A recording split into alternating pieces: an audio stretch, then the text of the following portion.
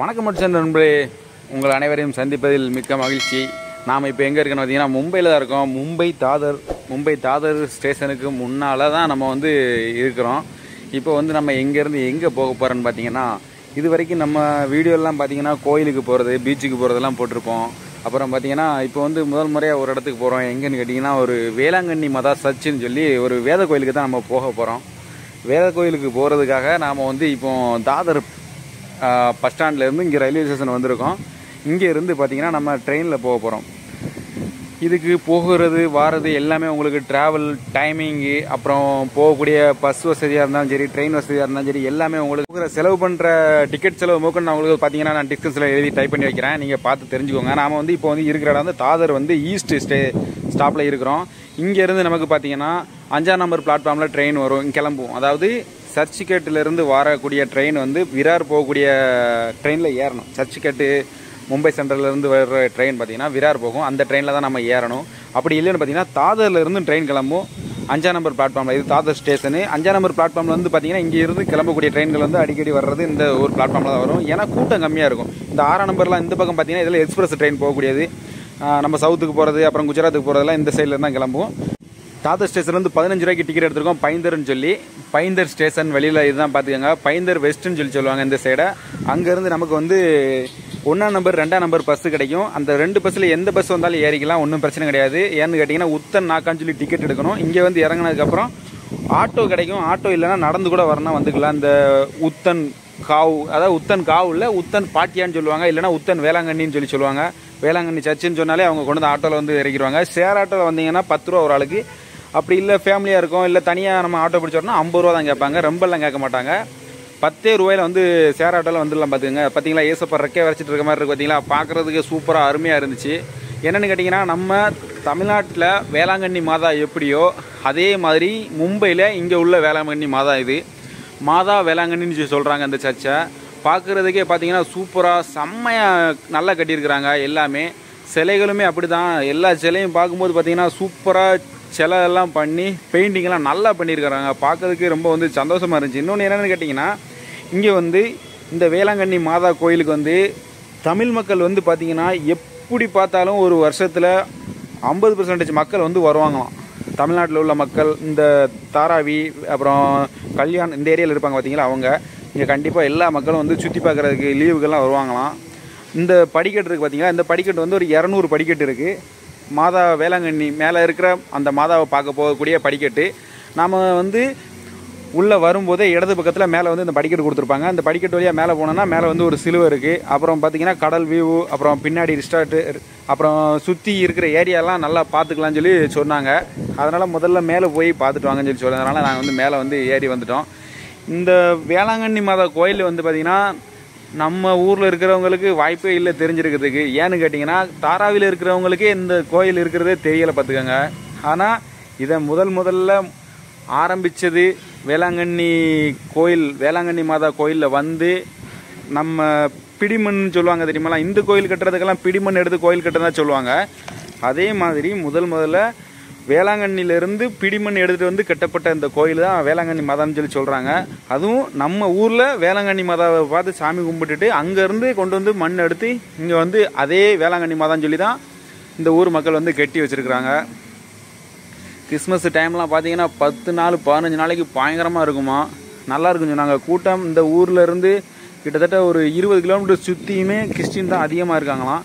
அவங்கெல்லாம் வந்து எல்லாம் ஒற்றுமையாக இங்கே வந்து சாமி கும்பிடுவாங்களாம். பார்க்குறதுக்கே நல்லா இருக்கும்னாங்க. முக்கியமான ஒன்று என்னென்னு கேட்டிங்கன்னா இந்து முஸ்லீமு கிறிஸ்டின் அந்த எந்த பாகுபாடும் இல்லாமலே எல்லா மக்களுமே இங்கே வந்து சாமி கூட வருவாங்க வருவாங்கன்னு சொல்லி சொன்னாங்க. மேலே இருக்குது பார்த்தீங்களா இந்த சைடு வழியாக நம்ம வேளாங்கண்ணி தமிழ்நாடு வேளாங்கண்ணி மாதா கோயிலுக்கு நான் போனதில்லை. ஆனால் நான் ஒரு சில இதில் வீடியோலாம் பார்த்துருக்கேன். அதில் வந்து பார்த்திங்கன்னா ரெண்டு சைடும் வாசல் கோயிலுக்குள்ளே போகிறதுக்கு வாசல் இருக்கிற மாதிரி இருக்கும். அதே மாதிரி பார்த்தீங்கன்னா இந்த வேளாங்கண்ணி மாதா மேலே மேலே ஏறுறதுக்கு வந்து பார்த்தீங்கன்னா ரெண்டு சைடும் படிக்கட்டு வச்சு சூப்பராக கட்டியிருக்காங்க. ஆனால் என்ன ஒன்றுன்னு கேட்டிங்கன்னா யாருமே மெயின்டைன் பண்ணாத மாதிரி இருக்குது வேலை இப்போ வெளியில் வந்து வேலை பார்த்துக்கிட்டு இருக்காங்க. இருந்தாலும் வந்து க்ளீனிங் எதுவும் இல்லை. இது வந்து பார்த்திங்கன்னா அந்த ரிசர்ட்னு சொன்னோம்ல அது வந்து பார்த்தீங்கன்னா அந்த சிலைக்கு நேராக பின்னாடி இருக்குது பெரிய ரிசர்ட் தான். நல்லா இருக்கும். பயங்கரமாக இருக்குன்னு சொல்லி சொன்னாங்க. உள்ளே ஸ்விம்மிங் பூல் எல்லாமே இருக்குன்னு சொல்லி சொன்னாங்க. டைம் பாஸுக்கும் நிறைய இடங்கள் இருக்குன்னு சொல்லி சொன்னாங்க. அதுக்கப்புறம் பார்த்தீங்கன்னா இந்த சிலையை பார்க்கறதுக்காக வந்தோம். இந்த பெயிண்டிங் வந்து ஒரு வருஷம் இல்லை ரெண்டு வருஷத்துக்கு ஒருக்கா தான் இந்த பெயிண்ட் வேலையெல்லாம் பண்ணுவாங்களாம். ஆனால் இப்போ வந்து பார்த்திங்கன்னா பெயிண்டிங் பண்ணாமல் இருக்குது மாதா சிலை. நம்ம ஊரில் வந்து பார்த்திங்கன்னா கெடா வெட்டியெல்லாம் சாமி கும்பிடுவா சொல்லுவாங்க ஒரு சில வேத கோயிலில். அதே மாதிரி இந்த கோயில்லையும் பண்ணுவதா சொன்னாங்க. அதாவது கோயிலுக்குள்ளே கிடையாது. கோயிலுக்கு வெளியில் வந்து சாமி கும்பிடுறது கெடா வெட்டுறது இதெல்லாம் பண்ணுவாங்களாம். நம்ம இந்து சாமிக்கு வந்து நம்ம எப்படி கும்பிடுதோமோ அதாவது சந்தனம் குங்குமம்லாம் வச்சு கும்பிடுவோம் பார்த்தீங்களா மாலை பத்தி அகர்வத்தி அதே மாதிரி ஒரு சில இடத்துல சிலைகள் இருக்குது பார்த்தீங்களா அந்த சிலைகளுக்கு வந்து வச்சு சாமி கும்பிடுறதா சொன்னாங்க. வியூ பாருங்கள் இது வந்து கடல். இது வந்து பார்த்தீங்கன்னா மினி கோவான்னு வேறு சொல்லிக்கிடுவாங்க இவங்க. இங்கே உள்ளவங்க வந்து மினி கோவான்னு சொல்லி சொல்லுவாங்க. இந்த கடல் வியூவெல்லாம் பார்த்துட்டு அருமையாக இருக்குன்னு சொல்லிட்டு மினி கோவான்னு சொல்லி தான் நான் வந்து யூடியூப்பில் சும்மா வீடியோ பார்க்கலாம். இங்கே இந்த கோயிலோட வரலாறு எப்படி இருக்குன்னு பார்க்குறக்காண்டி போட்டேன். பார்த்து டைப் பண்ணி பார்த்தேன். மினி கோவான்னு போட்டிருக்கு. இந்த இடத்துக்கு பேர் வந்து. சரி மினி கோவாவில் அப்படி என்னடா இருக்கான் அப்படின்னு பார்க்கலான்ட்டு தான் உள்ளே வந்து பார்த்தோம். பார்க்கும்போது பார்த்தீங்கன்னா பீச் இருக்குது ரொம்ப ஃபேமஸாலாம் ஒன்றும் இல்லை. ஒன்றுமே கிடைக்காது. வாங்கி சாப்பிட்ற அளவுக்கு. இன்னொன்று சாயங்காலம் நேரம் இல்லைனா காலை நேரம் மட்டும்தான் வர முடியும். மதியான நேரத்தில் இடையில வரவே முடியாது. வந்தாலும் வெயில் கொள்ளுன்னு கொள்ளுது. பிரயோஜனமாக வரணும்னு நினச்சோம்னா சாயங்காலம் போல் வரலாம். ஏன்னு கேட்டிங்கன்னா சூரியன் மறைகிறத வந்து நம்ம பார்க்கலாம். நல்லாயிருக்கும் அதுக்கப்புறம் கோயில் வளாகத்தை பாருங்கள் நம்ம இப்போ வந்தது பார்த்தீங்கன்னா கோயில் பின்பகுதியில் வந்தோம். ஒரு ரவுண்டு சுற்றி வரலாம்னு சொல்லி. எப்படின்னு கேட்டிங்கன்னா கோயிலிருந்து இறங்கி ஒரு ரோடு போச்சு. அந்த நம்ம சிலைக்கு மேலே ஏற பார்த்தீங்கன்னா இறங்கி ஒரு ரோடு போத்துச்சு. அது வழியாக இறங்கி சுற்றி வந்த மாதிரி கோயிலுக்கு பின்பக்கம் வழியாக முன்னாடி வந்தோம். ஆனால் ரோஜா தோட்டம் மாதிரி எல்லா செடி எல்லா பூக்களும் வச்சுருக்குறாங்க. பார்க்குறதுக்கு கண்கூடாக இருந்துச்சு. நல்லா இருந்துச்சு. சூப்பராக கண்கள்லாம் காட்சியாக இருந்துச்சு. அப்புறம் பார்த்திங்கன்னா வேத கோயில் இதுதான். முன்பகுதிக்கு போகிறதுக்காக நம்ம அப்படியே சுற்றி வந்தோம்.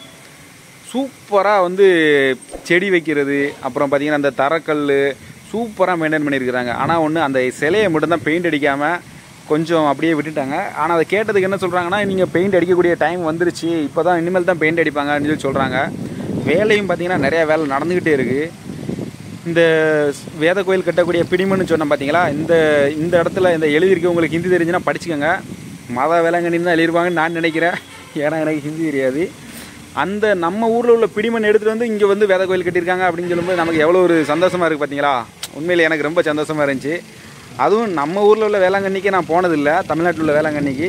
ஆனால் இந்த மும்பையில் உள்ள வேளாங்கண்ணிக்கு வந்து நான் வந்திருக்கும் போது எனக்கு வந்து ரொம்ப பெருமையாக இருந்துச்சு. என்ன சொல்கிறதுக்கு வாங்க நம்ம அப்படியே உள்ளே போய் ஏசப்பாவை கும்பிட்டுட்டு இந்த ஏரியாலாம் எப்படி இருக்குங்க சுற்றி பார்க்கலாம். நம்ம ஊரில் கூட இப்படி வீடியோ எடுக்க விடுவாங்களா இல்லையாங்கிற எனக்கு தெரியல. ஆனால் இங்கே எல்லாம் பார்த்தீங்கன்னா வீடியோ எடுக்கிறது எதுவுமே யாருமே ஒரு வார்த்தை கூட ஒன்றும் சொல்லலை. மாலெல்லாம் போட்டிருக்காங்க பயங்கரமாக துளசி மாலெல்லாம் கோயில் அந்த சா ஏசப்பாவுக்கு போட்டிருக்காங்க உள்ளே. சாரி ஏசப்பா நினச்சிக்கிட்டு தெரியாமல் சொல்லிட்டேன். அந்த மாதாவுக்கு போட்டிருக்காங்க. நமக்கு சரியாக இதில் வந்து நாலேஜ் இல்லை. தெரியாதனால நான் வந்து சொல்லிக்கிட்டு ஏதோ சொல்லிக்கிட்டு இருக்கேன். அதனால் பார்க்குறவங்க கிறிஸ்டினாக இருந்தீங்கன்னா எதுவும் நினச்சிக்கிடாதீங்க. எனக்கு தெரியலை அதனால் நான் மாற்றி சொல்லிட்டேன். ஆனால் ஒவ்வொரு சிலையும் சரி அந்த சிமெண்ட்டில் அதெல்லாம் செஞ்சுருப்பாங்க பார்த்தீங்களா சூப்பராக செதுக்கியிருக்காங்க. ஒவ்வொன்றும் செஞ்சவங்கலாம் பாராட்டணும். எப்படி தான் இவ்வளோ அழகாக செதுக்குனாங்கன்னு தெரியல. ஃபுல்லாகவே த்ரீ டி மாதிரி தான் இருக்குது பார்க்குறதுக்குமே அப்படியே பளிங்கு கல் மாதிரி மின்னுது பாருங்கள் சைடில் சரி மேலே பாருங்களேன். அப்படியே கொஞ்சம் கொஞ்சமாக மேலே காட்டுறேன். எப்பா இந்து கோயிலில் வந்து நம்ம சிலைகள்லாம் எப்படி செதுக்கியிருப்பாங்களோ அது மாதிரி சூப்பராக சிறப்பாக செதுக்கியிருக்கிறாங்க ஒவ்வொன்றுமே இந்த தூண்லை முதற்கொண்டு பாருங்களேன் அந்த இலையல் வரைஞ்சதுலேருந்து இது வந்து மேலே மேலே இருக்க வாழ்வு சோறு மேலே வால் சோறில் வானத்துவர்களை எவ்வளோ அழகாக செதுக்கியிருக்காங்க பாருங்களேன். பார்க்குறதுக்கே அருமையாக இருந்துச்சு. அந்த ஏசப்பா மேலேருந்து கீழாமல் பார்க்குற மாதிரி அதுக்கப்புறம் வெளியில் பார்த்தீங்கன்னா ரெண்டு வானதூதர்கள் அருமையாக பண்ணியிருக்காங்க. இந்த சைடில் தூண் சொன்னோம் பார்த்தீங்களா அதுலேயுமே வந்து பார்த்தீங்கன்னா அப்படியே ஒரு கொடி படர்ந்த மாதிரி செம்மையாக பண்ணியிருக்காங்க. நல்லா இருந்துச்சு. இந்த சிலையெல்லாம் எப்படி மேலேருந்து கீழாமல் பண்ணாங்கங்கிறது ஒரு ஆச்சரியம் மாதிரி தான். நம்ம கோயில் சிலைகள் கூட பார்க்கும்போது பார்த்தீங்கன்னா நார்மலாக ஒரு நட்டமே நிற்கிற மாதிரி உட்காந்துருக்கிற மாதிரி தான் பண்ணியிருப்பாங்க. இது வந்து பார்த்தீங்கன்னா மேலேருந்து கீழே அப்படியே தொங்கிக்கிட்டு இருக்கிற மாதிரி இருக்குது பண்ணியிருப்பாங்க நல்லா. சூப்பராக அருமையாக பண்ணியிருக்கிறாங்க. பார்க்குறதுக்கே செம்மையாக இருந்துச்சு. கோயில்லையுமே பார்த்தீங்கன்னா சுற்று எல்லாமே சுற்றி உள்ள பகுதி பார்த்திங்கன்னா நீட் அண்ட் க்ளீனாக இருக்குது நம்ம ஊரில் இவ்வளோ இது இருக்குமா அப்படிங்கிறது கொஞ்சம் இதுதான். ஆனால் நீட் அண்ட் க்ளீனாக செம்மையாக வச்சுருக்காங்க. உள்ள தமிழ் மக்கள்லாம் இருக்காங்க மக்களே. தமிழ்காரங்க அப்புறம் மலையாளத்துக்காரங்களாம் இருக்கிறாங்க. குடும்பம் குடும்பமாக இந்த கோயிலுக்கெல்லாம் வராங்க. இந்த சனி ஞாயிறுகள்லாம் பார்த்தீங்கன்னா லீவுக்கு வெளியில் எங்கேயா போவோம் அப்படின்னு நினைக்கும் போது இந்த கோயிலுக்கெல்லாம் வருவாங்களாம். சாப்பாடெல்லாம் கட்டி கொண்டு வந்திருக்கிறாங்க. நம்ம ஊரில் இந்த திருச்செந்தூர் அப்புறம் இருப்பங்குடி மாரியம்மன் கோயிலுக்கெல்லாம் போகும்போது பார்த்தீங்கன்னா சாப்பாடு கட்டி கொண்டு போவாங்க எங்கள் ஊரில். வீடுகளில் இருந்து சாப்பாடு செஞ்சு கொண்டு போய் சாமி கும்பிட்டுட்டு சாப்பிட்டுட்டு அங்கேருந்து வருவாங்க. அதேமாதிரி பார்த்தீங்கன்னா இந்த ஏரியாவில் உள்ள மக்கள்லாம் அப்படி வந்திருந்தாங்க. பார்த்தீங்கன்னா ஒரு பூனைக்குட்டி ஒரு மூணு பூனைக்குட்டி. அருமையாக எந்த வித ஒரு கவலையும் இல்லாமல் சூப்பராக தூங்கிட்டு இருந்துச்சு. பார்க்கறது கொஞ்சம் நல்லா இருந்துச்சு. சரி இது வா இது கொடுத்து வச்ச வாழ்க்கை அப்படிங்கிற மாதிரி தான். அது வாட்டில் தூங்குறத பார்த்து ஒரு சின்ன வீடியோ கிளிக்க போட்டோம். இது வந்து பார்த்திங்கன்னா மெத்திரி பார்த்தீங்கன்னா இது வந்து அந்த வியூ பாயிண்ட்டு கடற்கரை பார்க்குறதுக்காக அங்கே தனியாக கட்டி வச்சுருக்கிறாங்க. இது சின்ன பிள்ளைங்க விளையாடுறதுக்காண்டி பூங்கா மாதிரி செம்மையாக பண்ணி வச்சுருக்காங்க யாராவது மும்பையில் இருந்தீங்கன்னா மறக்காமல் இங்கே வந்து வேளாங்கண்ணி மாதா சர்ச்சுக்கு வந்து பாருங்கள் நம்ம யூடியூப் சேனல் லைக் பண்ணுங்கள் ஷேர் பண்ணுங்கள்